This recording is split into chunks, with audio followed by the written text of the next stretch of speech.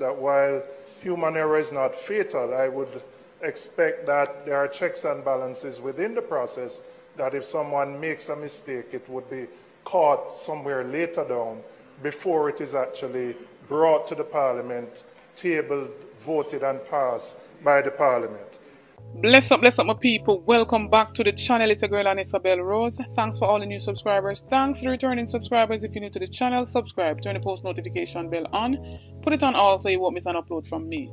On the road to 20k, help me to get there, my people. So, in this one, my people, seeing where parliamentarians spar yesterday in the House of Parliament as it pertains to some gross error as it pertains to the budget debate where the Minister of Finance, Dr. Nigel Clarke, had, you know, read out that four hour long, you know, budget. And so he wasn't present in Parliament yesterday, and the corrections were made um, by Minister of Education, Fayval Williams. I'm a people. Everal Warmington, you know, hammers you know, with question to Fayval Williams. And I've seen a lot of persons saying that, you know, he might try and mash up Parliament before him leave. But my take before I make to watch the entire video, my people, I'm want to watch all light so they can get, you know, a better understanding of what went down. And I believe it's him holding them accountable in this regard and not trying to mash up Parliament, as some would say. You know, many seem as the one that you know holds nothing down. Many see him as the one that is very straightforward, rude at um, many times. But in this regard, I see it as holding even his own members accountable.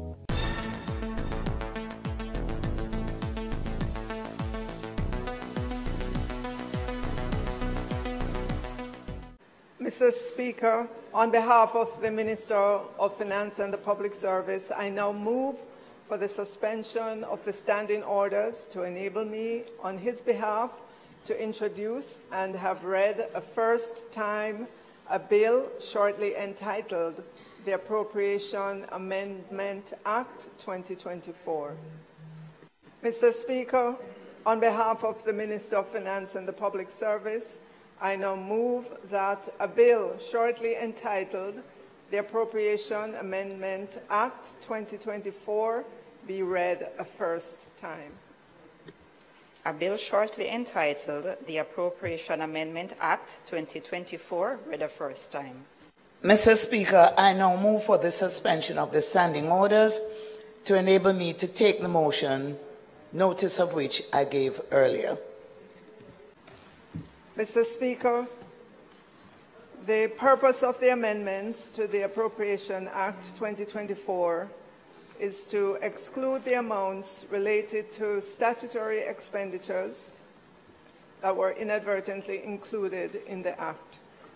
These amounts are shown in Table 1, which accompanies this brief, which represents a summary of the 2024-2025 central government expenditure budget as amended and approved by the Standing Finance Committee in March 2024. Mr. Speaker, the amendments are necessary as the Constitution stipulates that statutory expenditures shall not be voted on by the House of Representatives. Mr. Speaker, statutory expenditures are expenditures that are charged on the consolidated fund or on the general revenues and assets of Jamaica by virtue of provision in the Constitution or by virtue of the provisions of any other law in force. Mr. Speaker, the amendments are to enable compliance with Section 116.3 of the Constitution, which indicates that that amount classified as statutory expenditure in the estimates of expenditures shall not be voted on by the House of Representatives and should therefore not be included in the Appropriation Act. Mr. Speaker, the amendments to the Appropriation Act 2024 do not affect the heads of estimates, which do not include provisions for statutory expenditures neither do the amendments affect the aggregate 2024-2025 central government expenditure estimates of $1.341 trillion. So, in effect, Mr. Speaker, um, in the estimates of expenditure, the Yellow Book, all those numbers are correct. Mr. Speaker, the sections of the Act to be amended are 1. Section 2 to be amended to reflect the current aggregate voted sum, excluding statutory expenditures, of 817 billion, 265 million, $242,000 instead of 849 billion, 896 million, $471,000. Column 2 of the schedule in relation to the affected heads of expenditure to be amended by replacing the figures on the sums granted, which include statutory expenditures with the sums excluding statutory expenditures which are to be voted by Parliament and included in the Appropriation Act. Mr. Speaker, the affected heads of estimates and the, sum, and the sums involved are as follows. So on the heads, His Excellency the Governor General and staff, the sum in the Appropriation Act 2024, including statutory provisions, was 532,852,000. The amended sum, excluding statutory provisions, is 149,664. Houses of Parliament,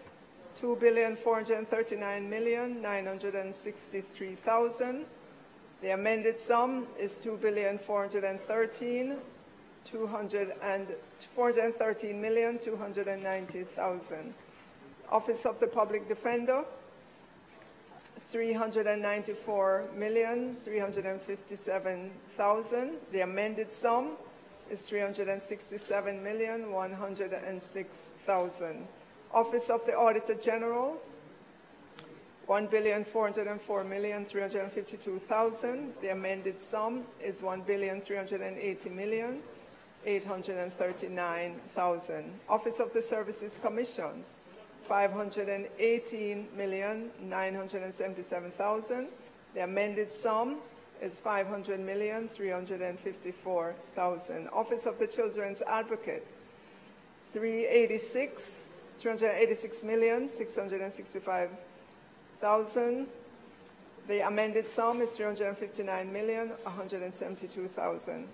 Independent Commission of Investigations, 837,299,000. The amended sum is 809,134,000. Integrity Commission, 1,851,371,000. The amended sum is 1,812,771,000. Independent Fiscal Commission, 273,482,000. The amended sum is 257. 690,000, 257 million, 690,000 pensions, 44 billion. The amended sum is 13 billion, 856 million, 376,000. Office of the Director of Public Prosecutions, 820 million 874 thousand. The amended sum is 799 million, 804,000. And finally, the judiciary, 9 billion, 431 million, 721,000. The amended sum is 7 billion, 554 million, 474,000. Mr. Speaker, with the exclusion of the sums classified as statutory expenditure, the subtotals referenced as carried forward and brought forward in column two at the bottom of the appropriation bill and at, the, at the, the bottom and the top of each page of the schedule are to be amended as follows. So if we look at page three, we would be deleting the figure 45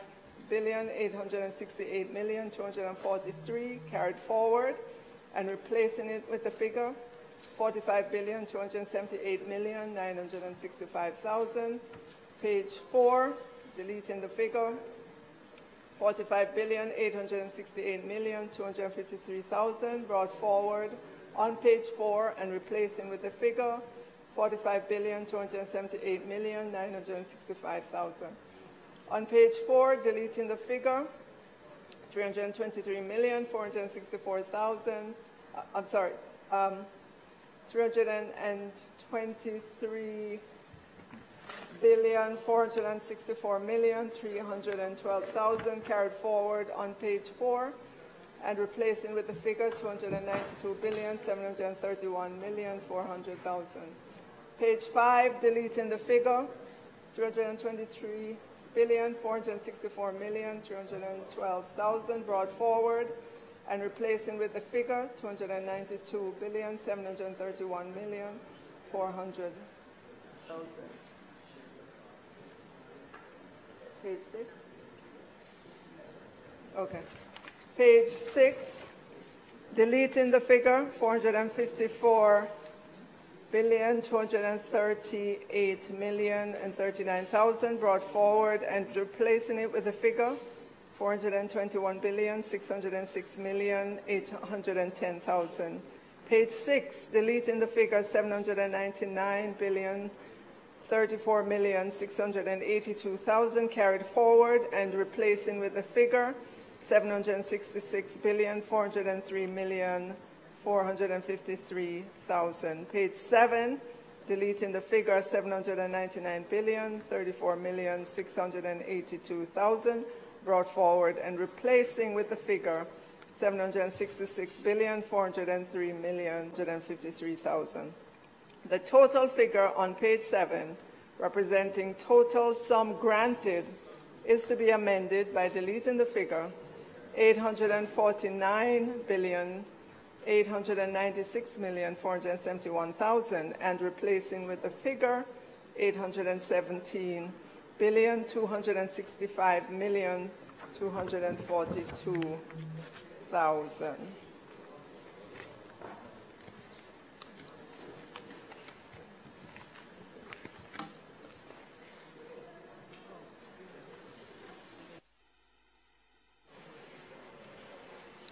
Mr. Speaker, it's quite unprecedented that less than two weeks after the close of our budget debate, we would be called back to address a matter of this nature. I want to ask what has given rise to the errors that were made in including the public bodies and the other entities. And I ask within the context that these are technocrats who have been preparing budgets for many, many years. And from my recollection, I can't recall ever having a situation like this. And I ask also within the context that while human error is not fatal, I would expect that there are checks and balances within the process that if someone makes a mistake, it would be caught somewhere later down before it is actually brought to the parliament, tabled, voted, and passed by the parliament. And secondly, I want to ask what is the material effect of the error that has taken place and whether it has affected the warrants that are issued to these public bodies and agencies and whether that has in any way impacted their ability to execute their functions, pay their bills, honor the obligations that they have. Uh, you want to answer the, the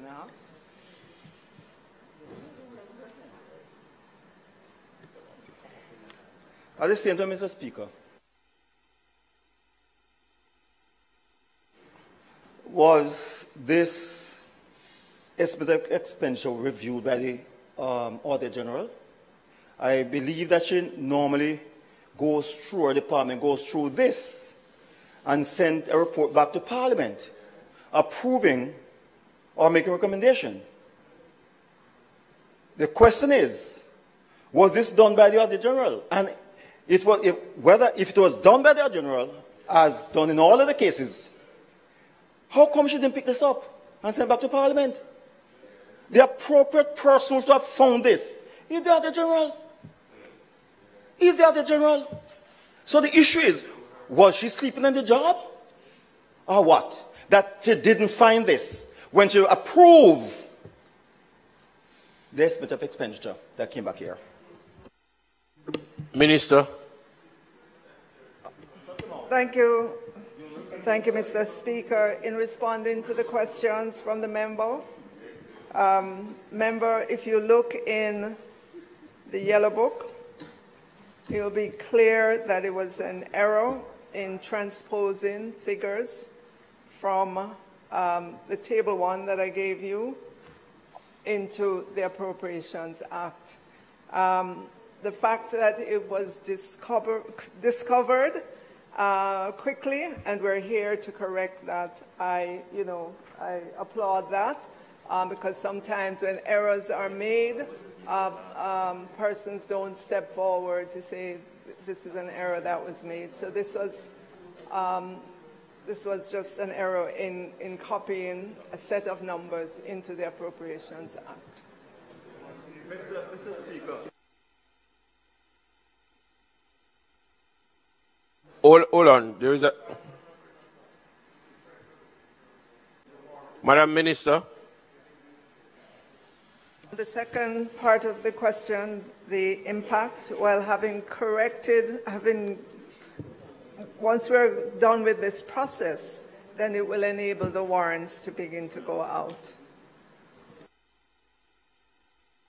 Mr. Speaker, the second part of my question has not yet been answered. Was the estimate of expenditure reviewed by the Auditor General and so approved and certified? That's my the second part of my question, but that part has not been answered as yet. Minister.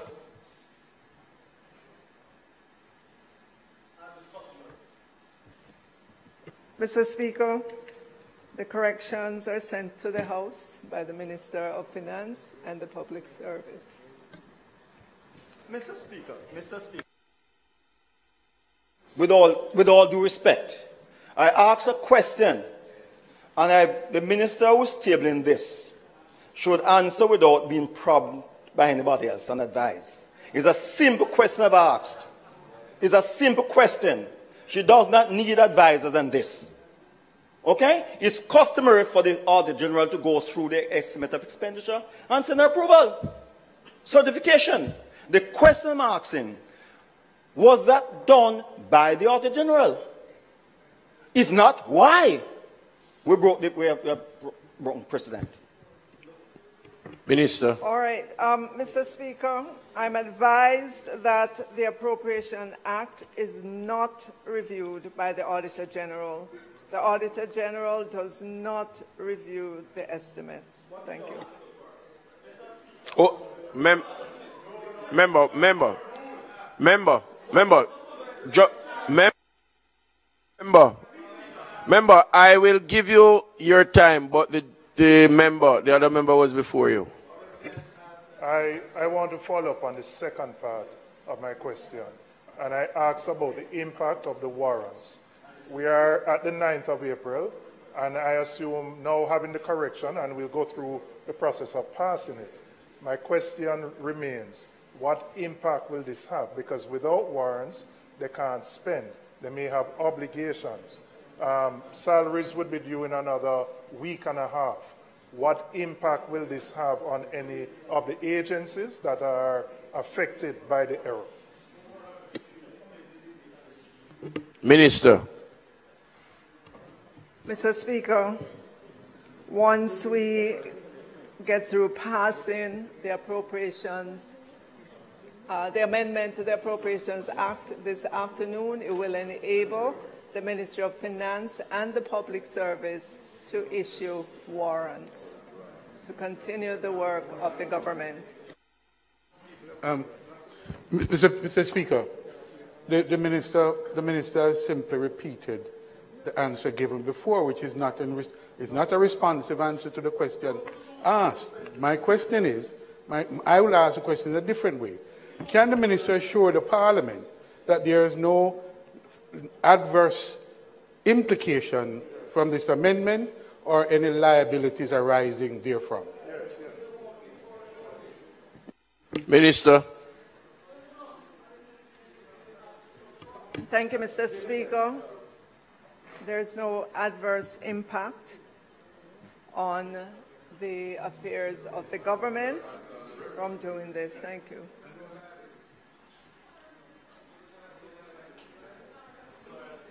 Mr. Speaker, the point I was getting at is after the estimate expenditure table in this House, you cannot proceed with the debate of the budget until we get a certification from the, or a response or review from the, the, George, shut your mouth.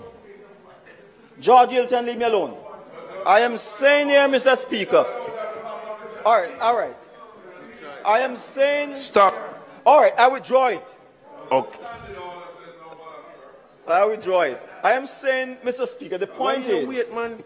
that after the budget is laid in this House, you cannot commence the, the, the budget debate until after review of the Auditor General. That's what I was getting at, Mr. Speaker. That's all I was getting at. And so, while I do agree with um, Julian Robinson as it pertains to saying that, you know, human error is gonna happen, but my take on that part is that before you come out and read figures, shouldn't there be other personnels to double check and triple check and make sure that it's accurate to the T, or should I say, accurate to the E? And so we all would like to know if there is if there will be any serious implication, knowing that you know pay adjusted pay is supposed to go out by the ending of April. And so we're seeing that they're passing this amendment bill as it pertains to the errors in the budget that Nigel has read out. Want to talk with my people based on everything that you know, hear in this video and based on what you know, might understand that there were errors talk up and let me know what you think. Don't forget to like, share, and subscribe to the channel. Run go over to my other platform, Instagram and Facebook, and follow me over there at Anissa Belle Rose. Check out the YouTube store, make a purchase, it goes in support of the channel. Check out the YouTube membership, you get a lot of benefits by becoming a member. Only a small fee per month to become a member of the ABR movement. And you have two levels of membership you have the regular membership and you have the VIP membership. We do notification shout out in each and every video to be a part of that. All you have to do is be the first to like, comment, and subscribe, and you'll be featured in the following video to come. This notification shout out goes to Thelma. Big up yourself, Thelma. Thanks for the continued support from each and every subscriber. New viewers, come on board, journey with me, join the family. Subscribe to the channel, like up the video, share out the videos, support the ABR movement by playing your part on the road to 20k. Help me to get there, my people. Stay tuned for more videos. Stay tuned for more updates. Get this video to at least 3,000 likes. Big up on yourself.